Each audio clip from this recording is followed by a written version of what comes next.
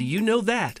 Hornbills have unique beaks that aren't just for looks, they're tools for hunting and calling. There are 54 species of hornbills worldwide, each with its uniquely adorned casque, the hollow structure atop their beaks. Female hornbills nest in tree cavities, while males deliver meals through a tiny opening. With their powerful wings, these birds ace acrobatics in the densest of jungles.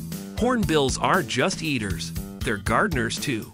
By munching on fruits and spreading seeds, they play a vital role in boosting forest growth. Subscribe.